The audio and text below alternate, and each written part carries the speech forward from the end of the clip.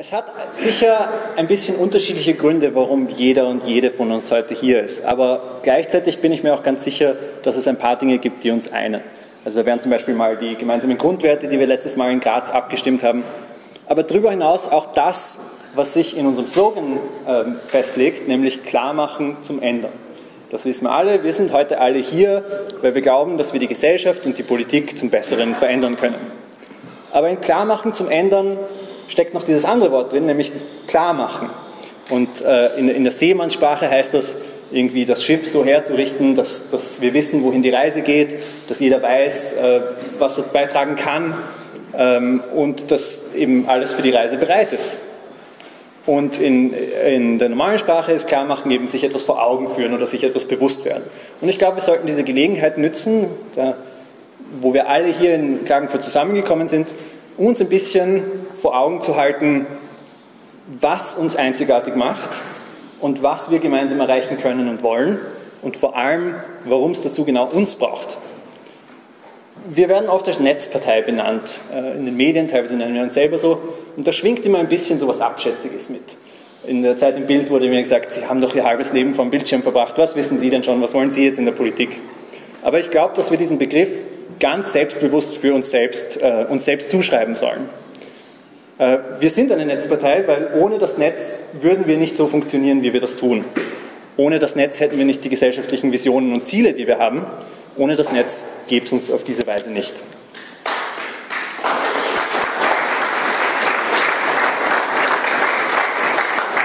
Selbstverständlich sind wir nicht eben nur unser Leben lang vor dem Bildschirm, sondern genauso auf der Straße präsent. Und natürlich wollen wir denen, die jetzt noch nicht so den Zugang zu haben, entweder jetzt zum Netz generell oder zu unseren Themen und Methoden, diesen Zugang geben und ihnen ermöglichen, möglichst schnell und barrierefrei online zu gehen und mitmachen zu können und, und teilhaben zu können, bei uns wie auch generell am gesellschaftlichen Leben. Aber wir sind eine Netzpartei so sehr, dass wir eben die Strukturen aus dem Internet mit übernommen haben. Das Fehlen einer zentralen Stelle, diese Peer-to-Peer-Architektur, wo alle mit allen verknüpft sind, das flache und hierarchiearme und emanzipierende Grundkonzept, das irgendwie die Struktur des Internets ausmacht, das haben wir auch für uns als Partei übernommen. Aber es, das Internet prägt nicht nur unsere Organisationsstruktur, sondern ganz, ganz stark auch unsere Inhalte. Und das auf zwei ganz wesentliche Weisen. Erstens sind wir die, die auf die ganz konkreten Bedrohungen unserer demokratischen Grundordnung, unserer Bürgerrechte im digitalen Zeitalter eingehen und hinweisen.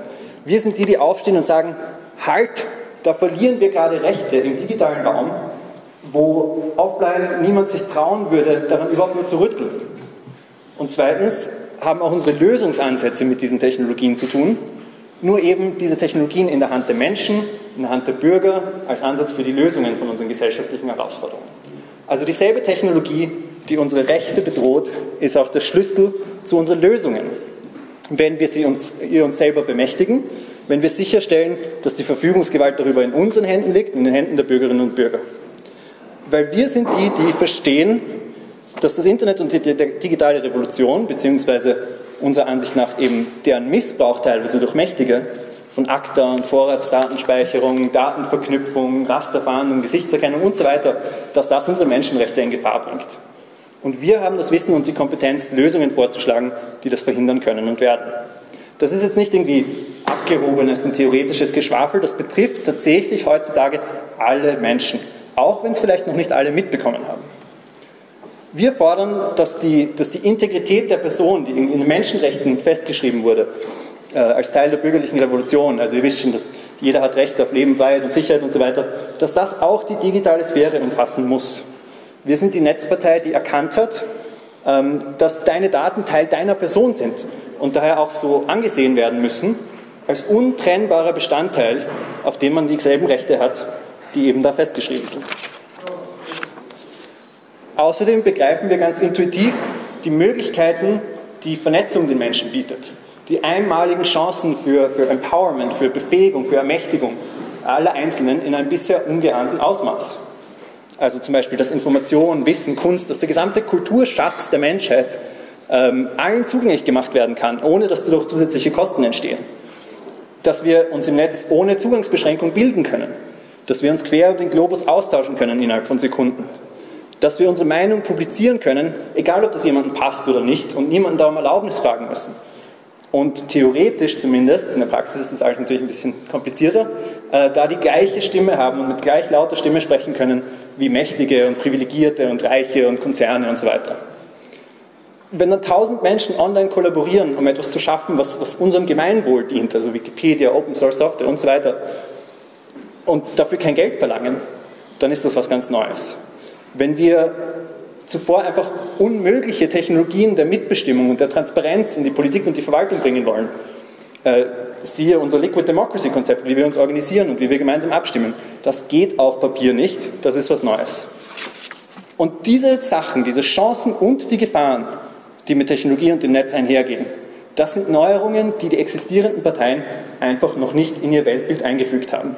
Da sind sie so wie der, der sprichwörtliche Frosch im Kochtopf, wo das Wasser immer heißer wird und er bekommt es nicht mit, bis es irgendwann zu spät ist. Und deswegen braucht Kärnten, braucht Österreich, braucht Europa, braucht die Welt die Piratenpartei.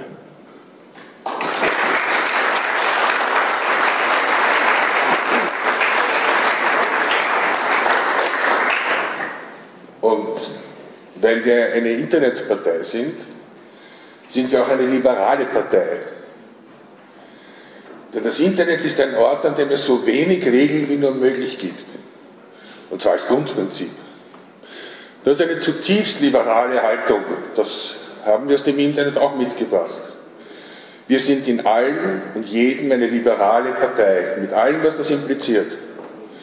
Denn selbst wenn wir das bestehende Parteienspektrum von links bis rechts als überholt ansehen, so müssen wir es uns dennoch gefallen lassen, dass man uns in der Öffentlichkeit im Rahmen dieses Spektrums irgendwo ansiedelt, irgendwo klassifiziert und dann müssen wir dort sein, wo die Bürger sind, in der Mitte, mit beiden Händen ausgestreckt, in jede Richtung. Weil es gerade so schön aktuell ist, was wir nicht sind, ist eine Linkspartei 2.0. Da ist gerade in Niedersachsen was schiefgegangen. Ähm, was übrigens in Niedersachsen auch noch schön herauskam und hier auch nicht unerwähnt bleiben soll, ist, wir sind eine kleine Truppe, die grundsätzlich in der breiten Öffentlichkeit für zwei Dinge bekannt ist. Erstens, dass wir für ein freies Netz stehen. Das ist uns sozusagen in die DNA eingeschrieben. Das ist gut. Damit können wir arbeiten. Andere Parteien geben viel Geld aus, um sich so ein Marken Limit, Limit zu geben von teuren Agenturen. Wir haben das von Haus aus. Und zweitens sind wir bekannt als der Stritterner Haufen. Das müssen wir ändern. Vielleicht nicht ganz, aber zumindest in das Bild eines streitenden Haufens. Die internen Diskussionen, das Ringen um Strukturen, Positionen und Kompromisse sind das Abbild dessen, wie wir einmal Politik im Großen machen werden. Politik wird immer ein Streiten sein. Das muss so sein. Wir müssen uns aber dabei vor Augen führen, dass wir mit Zerstrittensein gar keine Politik zusammenbringen werden. Da werden wir nicht einmal einen Wahlkampf hinkriegen. Dafür werden wir nicht gewählt und dann können wir nichts ändern. Eigentlich steht das eh schon alles im Kodex und im Programm und auf der Website. Aber es hilft, sich die Details von Zeit zu Zeit ins Bewusstsein zu rufen. Wir sind eine basisdemokratische, liberale Bürgerpartei. Christopher hat das teilweise schon erwähnt, freier Zugang zu Bildung, zu Information, Grundeinkommen, bedingungsloses, absolute Transparenz. Ähm, das ist so im Großen das Bild, das wir gerne gezeichnet hätten. Und ich spüre schon den Unmut bei einem oder beim anderen, der jetzt sagt, naja, das ist alles schön und gut, aber wir haben nun einmal regen Zulauf von vielen Leuten, die mitmachen wollen und die bei weitem nicht diesem Bild entsprechen. Die Piraten sind eine breite Bewegung. Und wir freuen uns über jeden, der ein Stück des Weges mit uns mitgeht und unsere Überzeugungen und Werte mit uns trägt. Zumindest ein Stück des Weges. Und die Auswirkungen unseres Weltbildes, Transparenz, Mitbestimmung, freie Entfaltung für alle, das ist schließlich ein leicht verständliches Ziel, das wir mit vielen Menschen teilen können. Und ja, natürlich, die Bewegung für die unsere zieht ein breites Protestpotenzial an und wir wären töricht und arrogant, würden wir dieses Potenzial nicht ausnützen, so breit ausschöpfen, wie nur irgend geht. Und selbstverständlich werden wir uns bei jedem Einzelnen bemühen, ihn für unsere Werte und Überzeugungen zu gewinnen und ihn mit unseren Werkzeugen und Umgangsformen für eine digitale Demokratie vertraut zu machen. Das müssen wir tun. Das sind wir jedem, der zu uns kommt und mitmachen will, einfach schuldig. Aber, das ist schon wichtig, am Ende des Tages werden wir immer wieder Entscheidungen treffen müssen, mit wem wir das nächste Stück Weg gemeinsam gehen und mit wem nicht. Und die Entscheidung wird immer schwer sein und wir werden es dabei niemals allen recht machen können. Soweit der vorprogrammierte Shitstorm. Und soweit meine Definition oder unsere Definition aus einem Pirat sein soll. Ich denke mir, wir haben jetzt einmal zwei Tage Zeit darüber zu diskutieren.